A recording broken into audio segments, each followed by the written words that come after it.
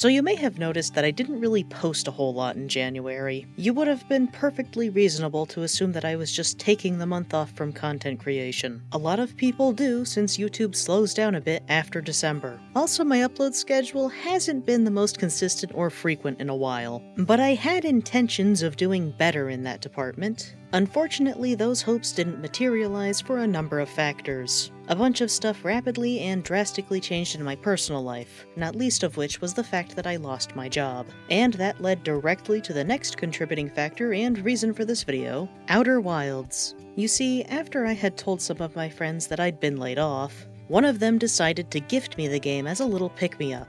Up to this point, I thought for sure my primary love language was acts of service, but receiving this gift really did help me feel better about what I was going through. Then again, maybe giving me a video game with the objective of helping me feel better counts as an act of service? I probably need to actually read more about how love languages work anyway. Regardless, I practically nosedived into this game. Probably not the healthiest coping mechanism, but it gave me something new to focus on, which I desperately needed. I have a tendency, like I imagine most humans do, to just kind of stick to what's familiar and what's routine. The issue is that ends up leaving you in a rut, and so I was feeling stuck. Not just from my work with being laid off, but even in video games, something that has historically brought me fun and good feelings. While I did play Portal with RTX when it was released, and downloaded Sims 4 when it was made free to play this past year, for most of the past two years, I've just played Minecraft.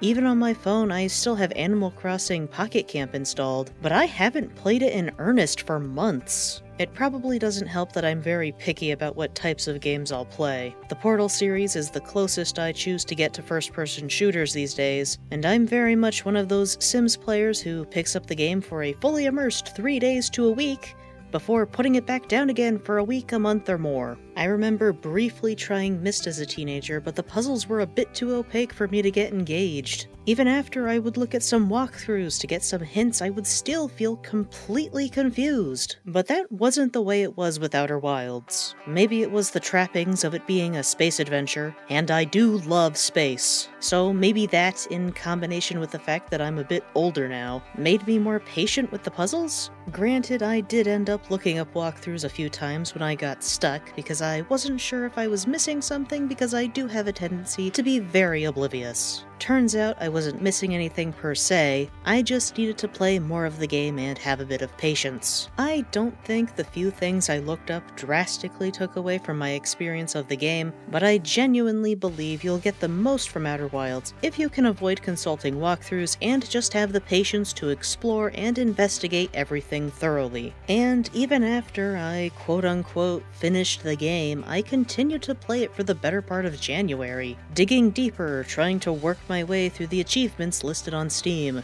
The thing is, I didn't just play Outer Wilds. I fully, thoroughly enjoyed it. And I definitely can't just chalk that up to the game's content. It's also the way I got it, the way it was presented to me. A friend cared about me and wanted to help me feel better, so she gave it as a gift. Of course, the friend in question also confessed later that part of why she gave me the game was so that we could talk about it. But as far as ulterior motives go, that's pretty benign. I am just ever so slightly cynical by nature, so part of my brain usually expects ulterior motives. But since my friend and I appear to have very similar tastes in video games, and again, it was a gift, I feel I have absolutely zero things to complain about. Unfortunately, I now can appreciate why my friend was so eager to be able to talk to me about the game. The community is a bit small.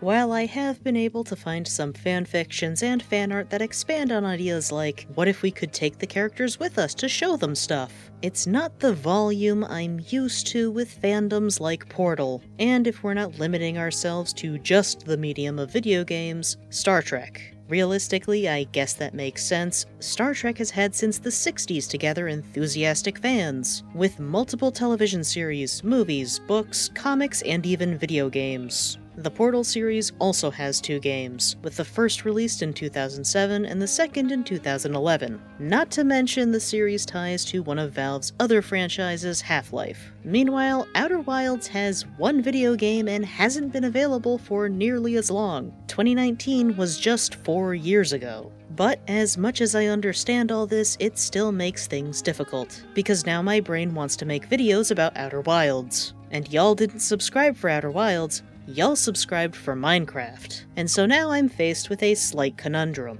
I have things I want to talk about with Outer Wilds, but I don't think I have enough ideas to make a completely new channel. So I asked myself, do I not make the videos and risk never sharing my thoughts, causing them to endlessly float around in my head? Or do I make the videos and risk alienating my viewers? Am I overthinking this?